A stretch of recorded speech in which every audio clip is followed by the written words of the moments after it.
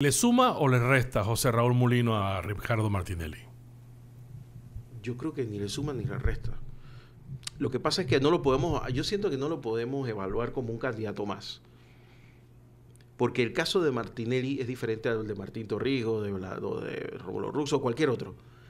El, vicepresi el vicepresidente puede terminar siendo presidente. O sea, hay que evaluar. La pregunta es, ¿puede ser José Raúl Mulino presidente un buen presidente de la República? El vicepresidente siempre puede ser el, presidente, pero en el caso de Mulino es más dramático. Eh, y, más, alta la probabilidad es lo que Es probable que Martín ni siquiera jure. ¿Cómo lo ves tú, José Abel? Mira, eh, hay que... ¿Tú conociste bien a José Raúl? Sí.